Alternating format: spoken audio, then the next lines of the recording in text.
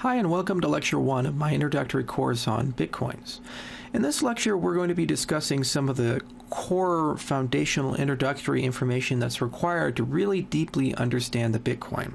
I make the assumption throughout this entire course that number one, you have no technical skills, meaning you're not a computer programmer or an IT expert, and number two, you have just heard about the Bitcoin. Maybe it was in the Wall Street Journal, or maybe it was in um, New York Times or perhaps some sort of thing on CNBC where people were talking about this and you said a bit what?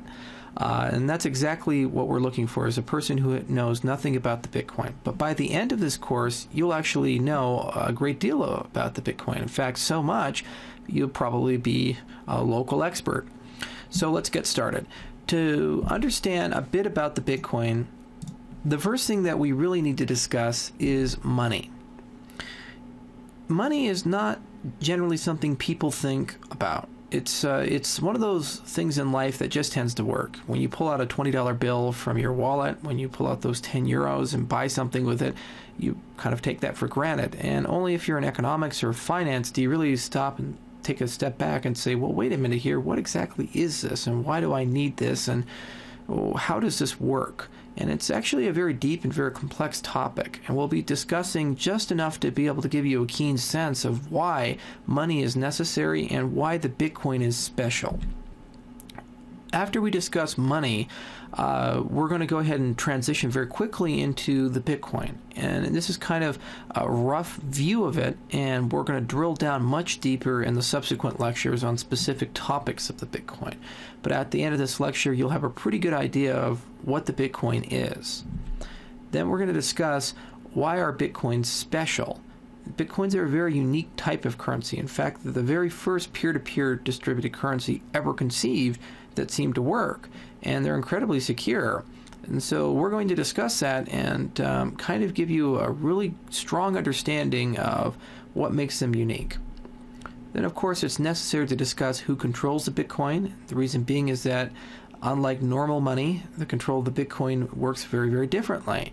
And it's important that you understand uh, the controlling forces within the Bitcoin, how it can go wrong, where it can go right, uh, so you can avoid some of the misinformation that tends to be flowing around just due to ignorance.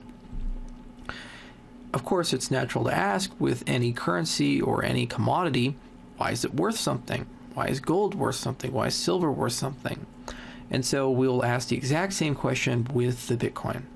And finally, we'll go ahead and introduce a couple of wonderful links that are great introductions to get you started inside the Bitcoin world. First, it's going to connect you to a lot of uh, websites that specialize in discussing the Bitcoin, and there's some intro videos that are probably even better than mine, to be honest, uh, that I would highly recommend just to get you started with the Bitcoin. Okay, so let's start with money. What is money? When I took economics years ago, money was explained to me by an elucidating story. So, the very first thing human beings started doing when we started to communicate with each other was barter. Barter is when I have something you want and you have something I want. We come together and we agree to exchange it. For example, I could be a neurosurgeon and you could be a baker. So maybe you have brain cancer and I go to you and say, if you give me bread for the rest of your life, I'll go ahead and operate on you and save your life. And as a baker, you'd be like, okay, that's kind of a fair deal. There's not many neurosurgeons floating around, and you know, I have lots of surplus bread, so that seems like a legitimate deal. Well, here's the problem. vast majority of bakers do not have brain cancer. So even though I, as a neurosurgeon, have a skill that is incredibly valuable it's very rare. It takes decades to refine and develop. I'm probably going to starve to death because I have no utility to society outside of this very small subset. And if I had to barter with people to survive, I unless I live in a massive community and I got really lucky about the people who develop brain cancer or brain trauma, I probably would not make it and so, in a barter based society, people with very specialized skills don't tend to do very well. And this is a problem because the key to advancing, the key to growing quickly, is specialization. Imagine if everybody, in addition to being an engineer or a mathematician or a rocket scientist, also had to be a farmer. this would cause problems. So we said, how about we go ahead and develop something that lets the neurosurgeon be a neurosurgeon, but also prevents him from starving to death. And that's kind of money. Money is usually defined in terms of three functions. The first is a means of exchange, the second is a store of value, and the third is a unit of account. So when we think about money, we say first, we don't want to build a society where every time you want something, you have to find something that that person who has it wants. Instead, let's create a standard unit, a dollar, a pound, a euro, where the neurosurgeon can acquire these by doing his job and then spend them any way he or she sees fit. And so when he goes to the baker, the baker will agree to exchange bread for this standard unit of exchange.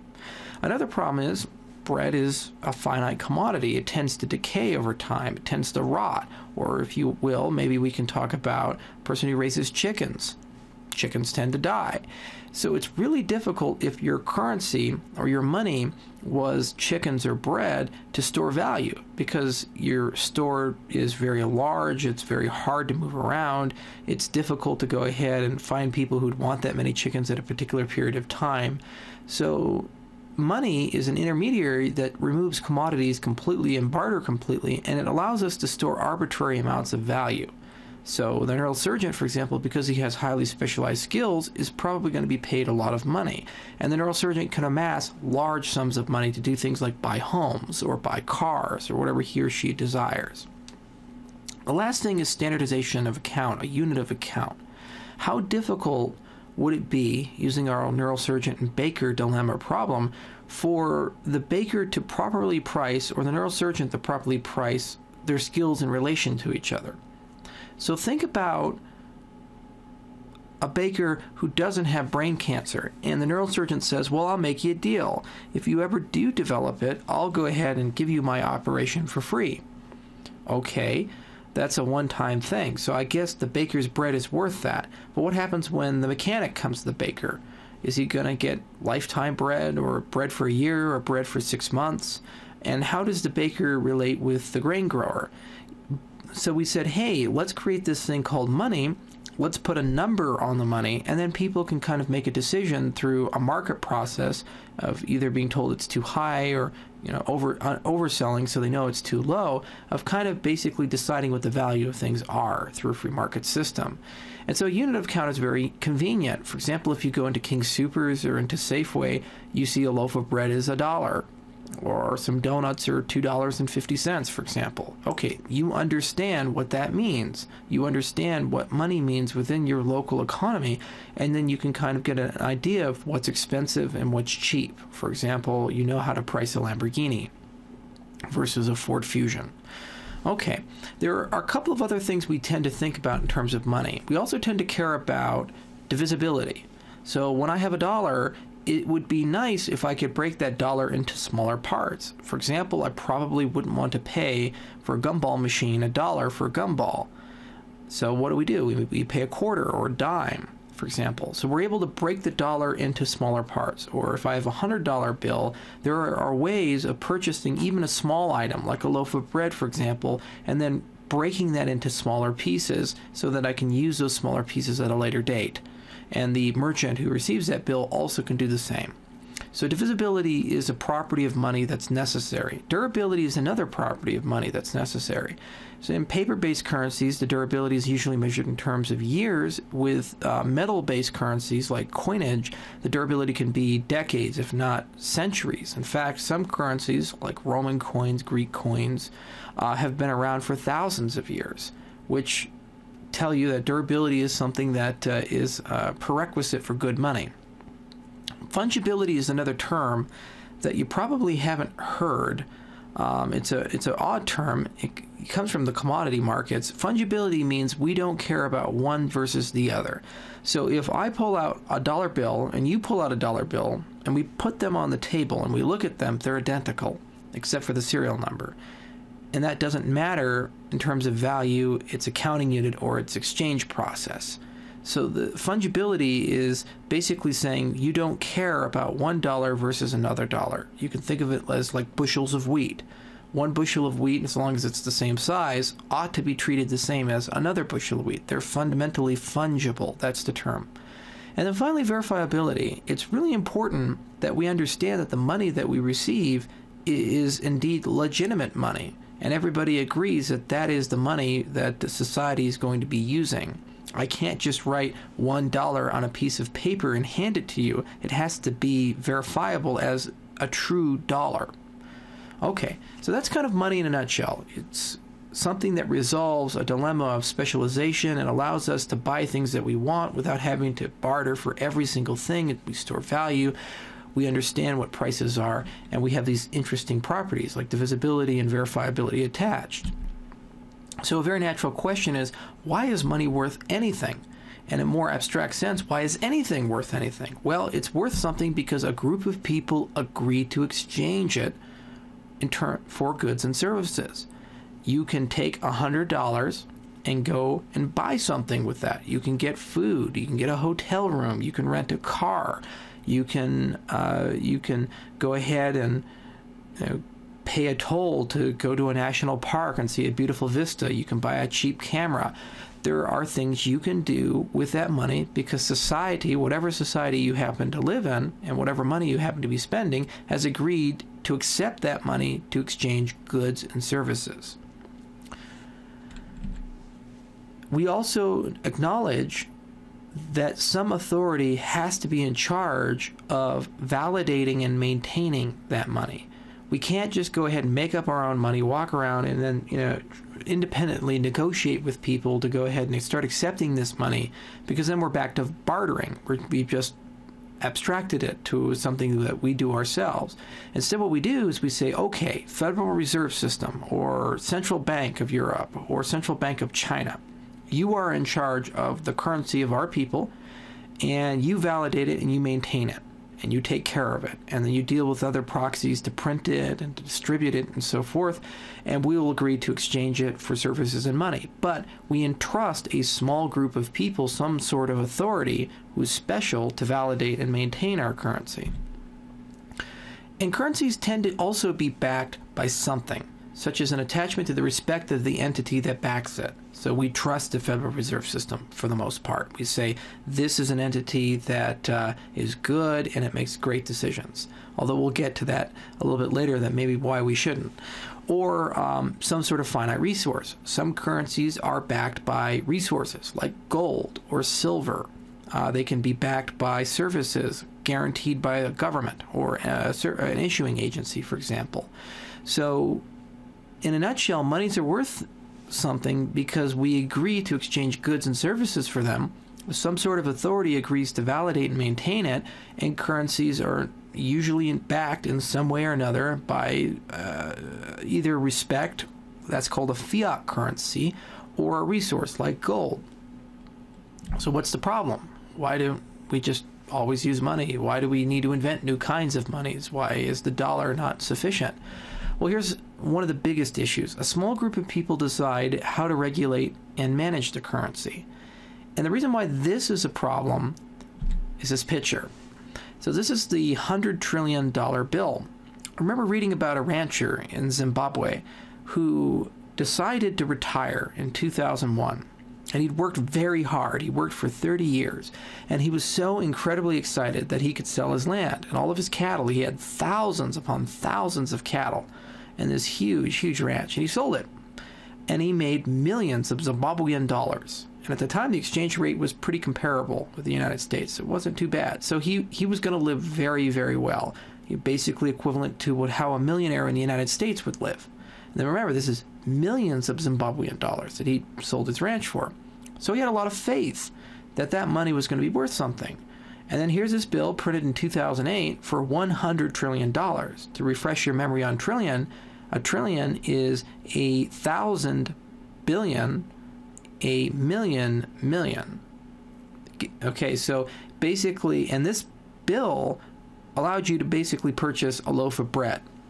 So for that ranch, he sold the thousands of cattle, the thousands of acres, all the land, and that 30 years of hard work translated because of the collapse of the Zimbabwean dollar to less than a loaf of bread. it got so bad in Zimbabwe that actually the workers would want to be paid during uh, the mornings so that they could give the money to their wives and have them buy groceries during the mornings because the currency would be worth about half as much at night and they would be able to buy less. It's a pretty terrible thing.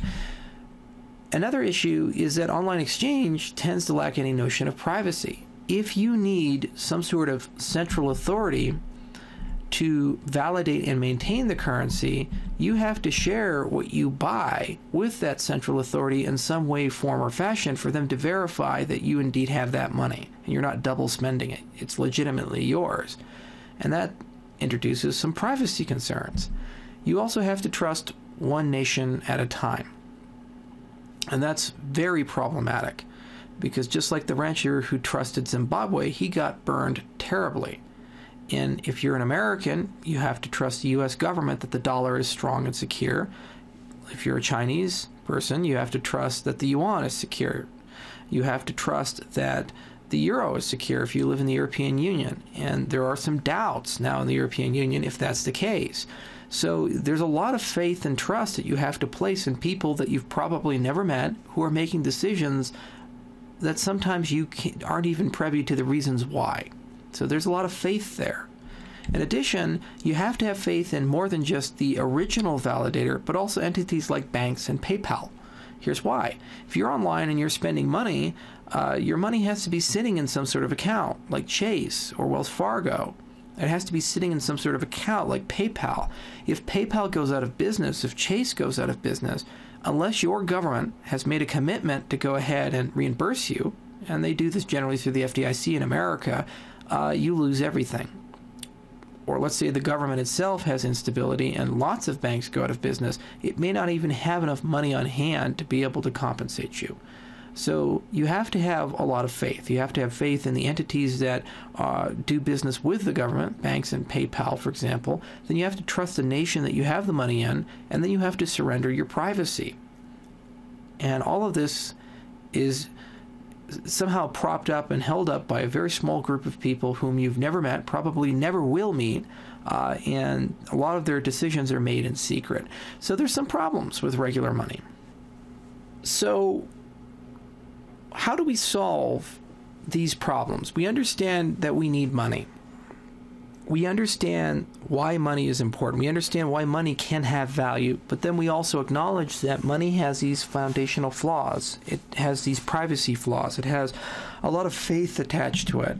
You're relying on people you've never met and you know nothing about to make decisions in your best interest. And some of these people belong to other governments. Some of these people probably don't have your best interest at heart. So, uh, a gentleman named Satoshi Nakamoto, and it's actually a pen name, we don't know who he really is, sat down and thought very, very deeply for a long time. And he's thought about how do I build a new type of money that has very few of the problems of old money and allows us to spend money in an anonymous way, as anonymous as cash, without any government manipulating it, without any government touching it, uh, and, and how do we do this in a way that no one entity or person can control it? And he wrote this paper back in 2009 and he published it anonymously, which is really an amazing thing an anonymous currency created by an anonymous person under a Japanese um, pseudonym.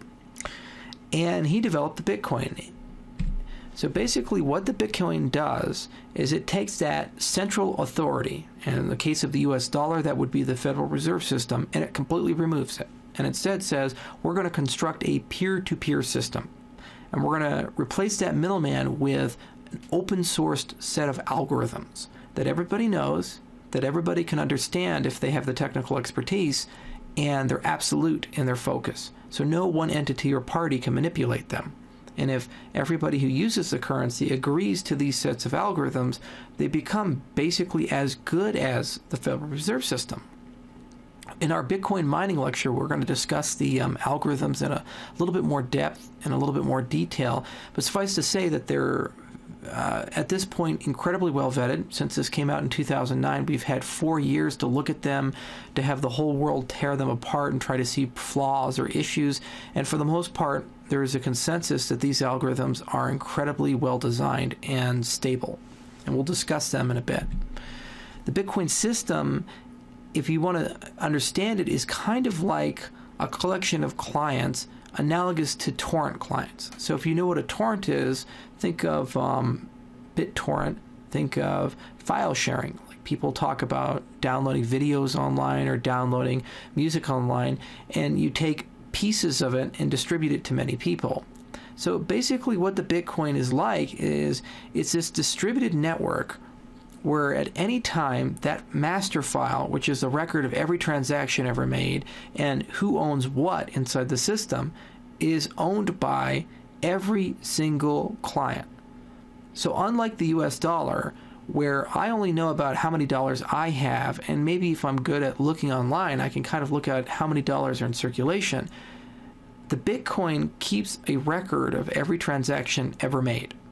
So, where the money went into which accounts. Of course, the first question you'll ask is say, well, wait a minute, isn't this supposed to be anonymous? Isn't this supposed to be something that that, that no, nobody knows my identity? Absolutely. Accounts are anonymous.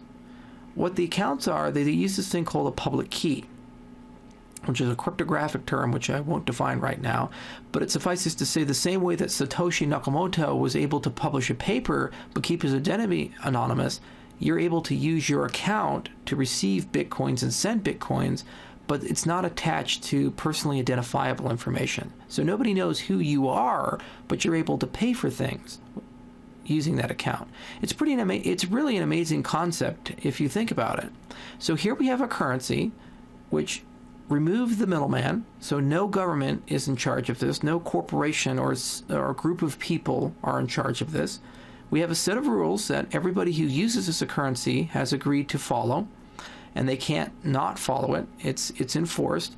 And then we have taken something similar to how torrents work, and we've gone ahead and taken all the money in the entire ecosystem, all the transactions in the ecosystem, and everybody knows about them.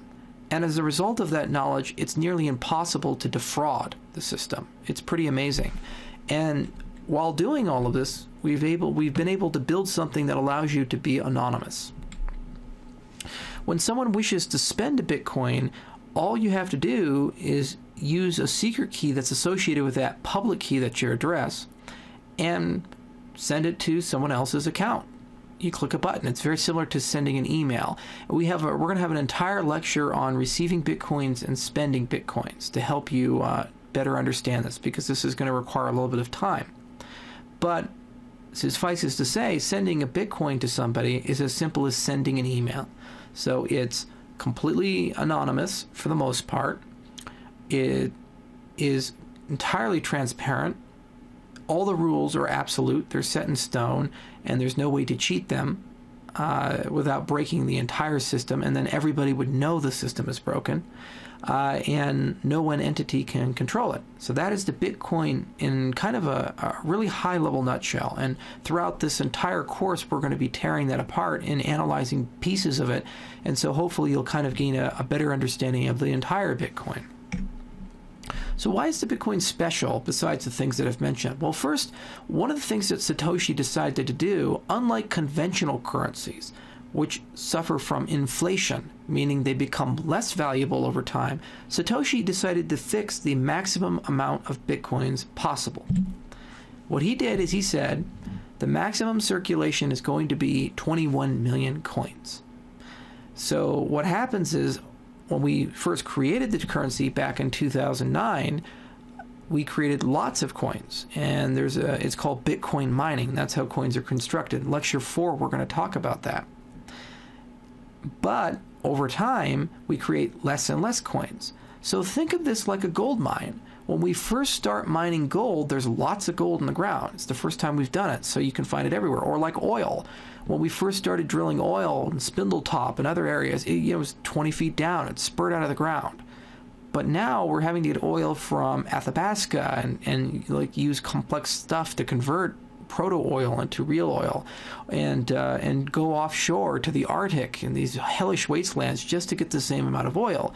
So it's becoming more difficult to get oil, and it's the exact same way with the Bitcoin. The Bitcoin behaves like a commodity with a maximum limit on how much can exist enforced by those open source algorithms. No one party can enforce that. It's enforced globally.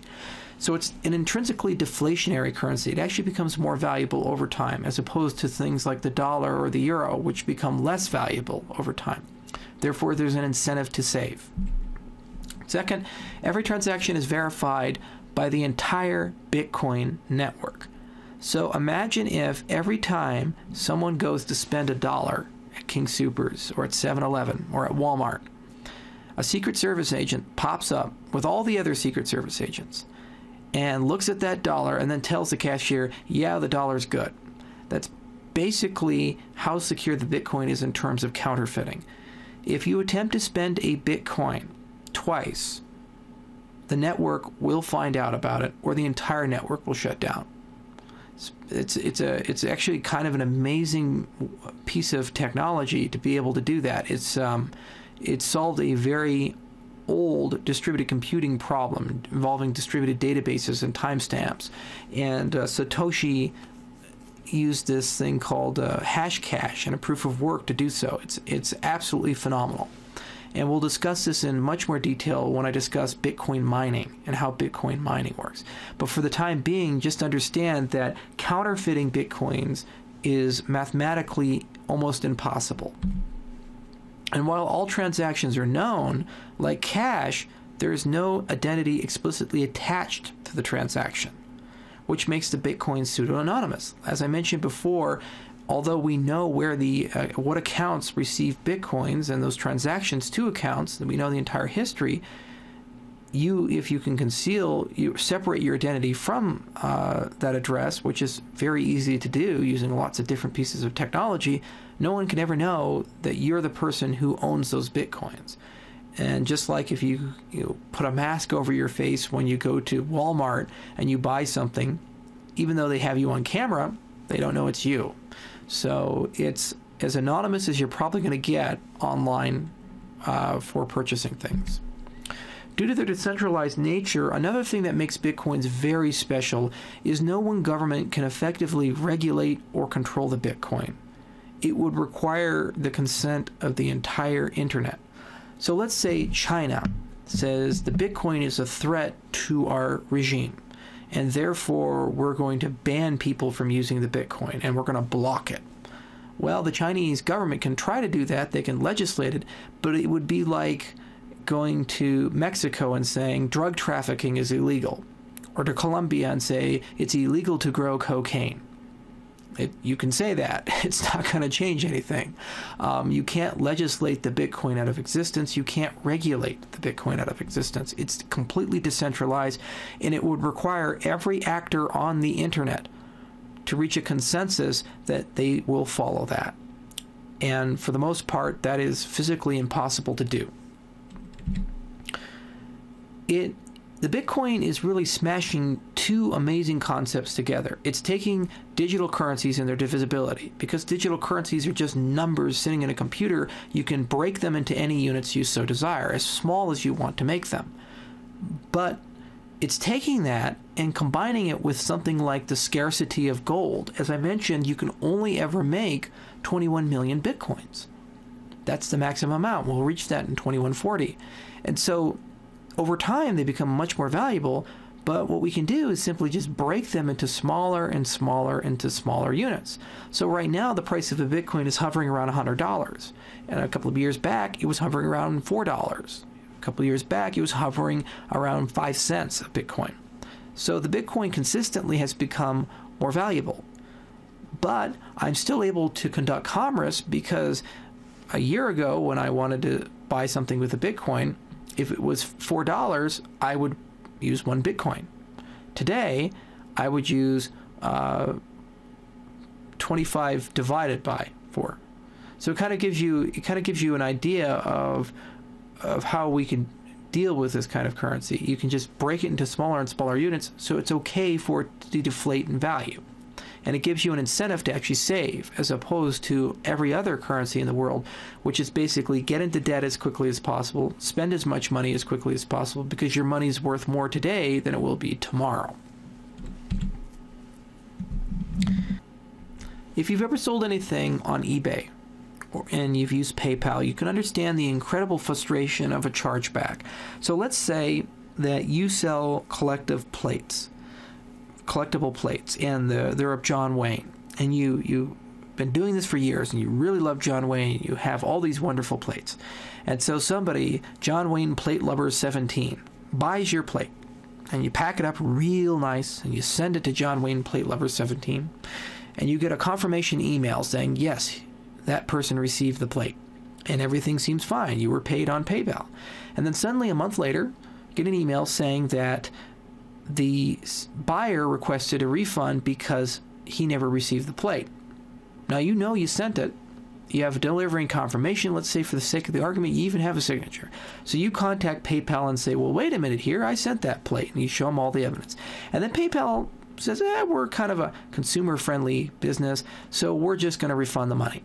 So now here's what happened: you sent your product to a person and that person defrauded you, and there's nothing you can do about that. So some chargebacks are legitimate, a lot aren't, and it's an incredible frustration for merchants. Some credit card chargebacks can occur three months after purchase. The Bitcoin, once you've given someone a money, it's in their wallet. You can't reverse it. And you can contact them if you know who they are and send them an email saying, "Go ahead and please give me a, uh, go ahead and please give me a uh, my money back." And if they're a nice person, they say, oh, okay, I'll give you your money back. But for the most part, it's up to them. So it's a kind of a beautiful thing if you're a merchant uh, that you don't have to deal with chargebacks. But also, it's a double edged sword if you're a consumer um, that buyer beware. If you spend money, sometimes your money may not come back. So you have to be a little bit more careful than normal currencies. Accounts can never be frozen by a government that's really a cool thing. A friend of mine was investigated by the Securities Exchange Commission, and eventually he won the lawsuit. But in the meantime, uh, his accounts were frozen. And for about a year and a half, even though he was a millionaire, he had to live off of about $5,000 for that 16 months or 17 months and he didn't have enough money because his accounts were frozen to hire a competent counsel.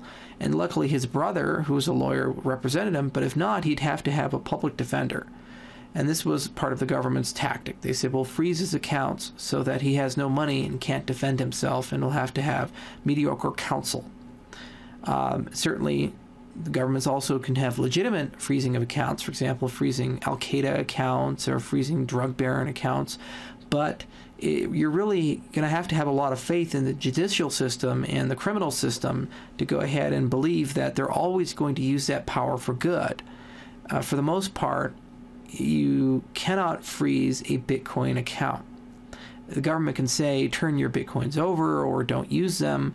Uh, somebody can destroy the computer that holds the address for the Bitcoin, rendering them unusable for everybody, not just you for the most part, no one can interfere with your bitcoins. If you own them, they're in your account, you must consent to not use them or to get rid of them.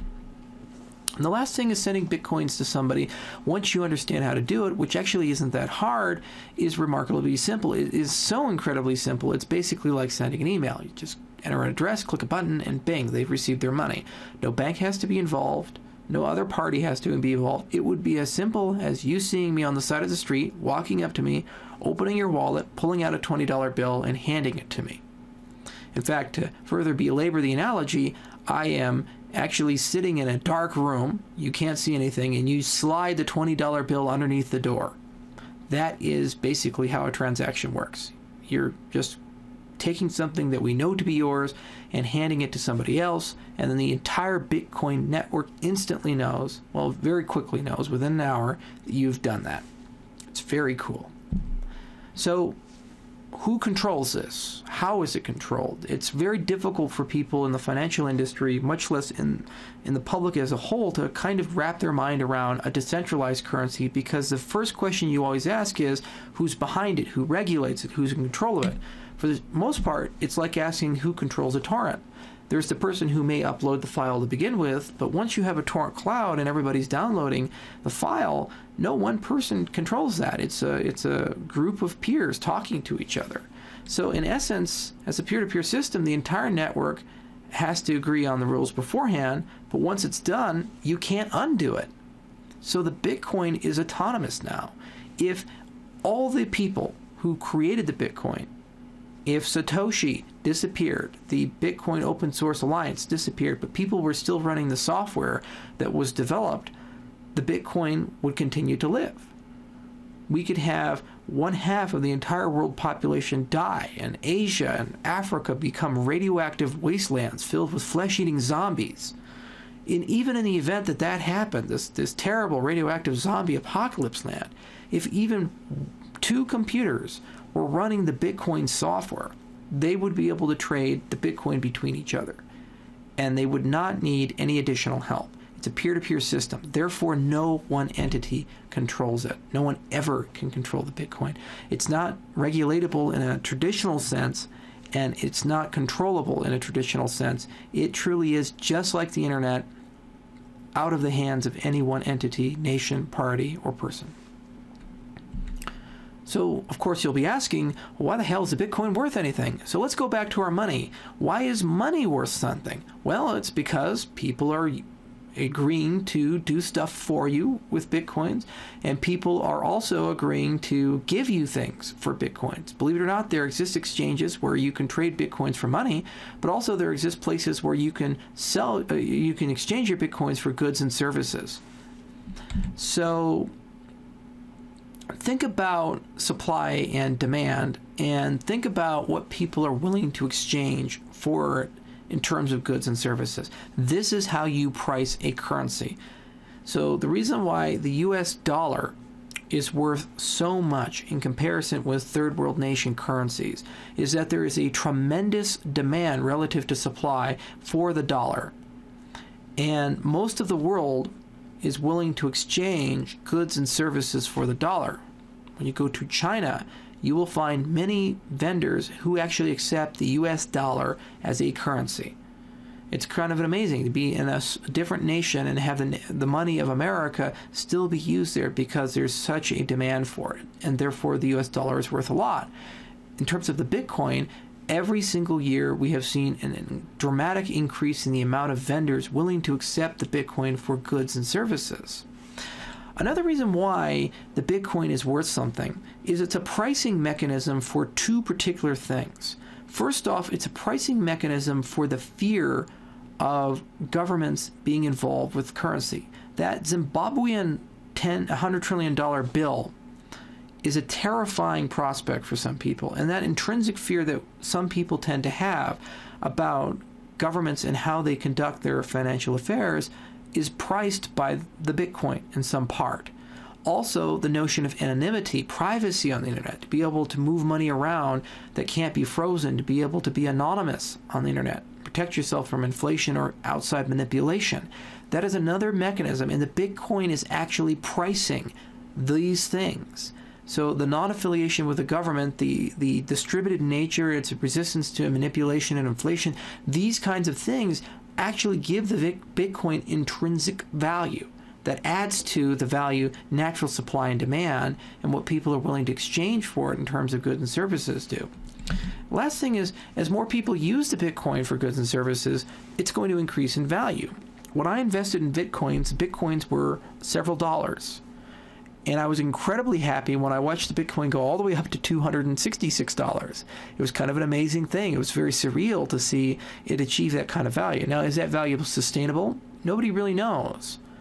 Yet, what we do know is as a deflationary currency that becomes more scarce over time, proportional to the amount of people who invest in it, and as more people use it for regular goods and services, and as things like Cyprus collapsing or Greece collapsing or uh, the US dollar losing value and people's concerns about privacy increase, the Bitcoin is going to increase in value.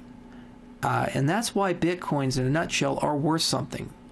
And there's more reasons, but these, in my mind, are the most powerful, compelling reasons. There's a floor established by uh, a, a disassociation from governments and privacy, and then if it becomes a ubiquitous currency that everybody on the internet tends to use to buy things and trade things, it, the Bitcoin will become incredibly valuable.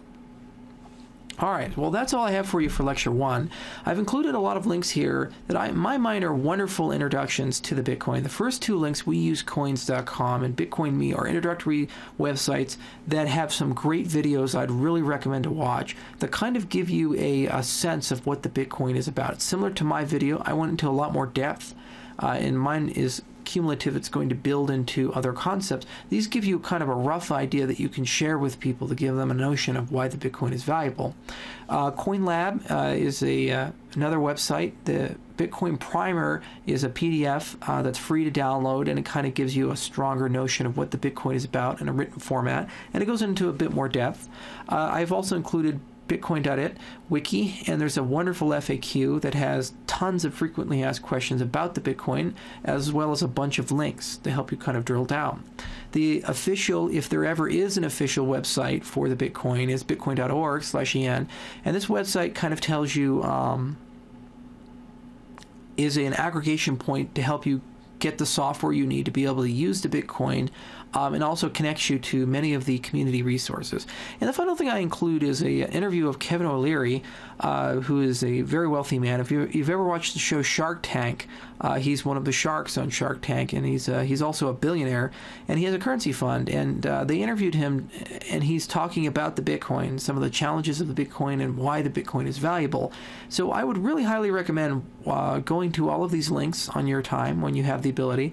the PDF is available, and the links are embedded embedded within the PDF, uh, and uh, you can always just, of course, enter them into your URL if you so choose. But uh, in any event, thank you for listening, uh, and I'll I, will i will love to see you in lecture two. Have a wonderful day.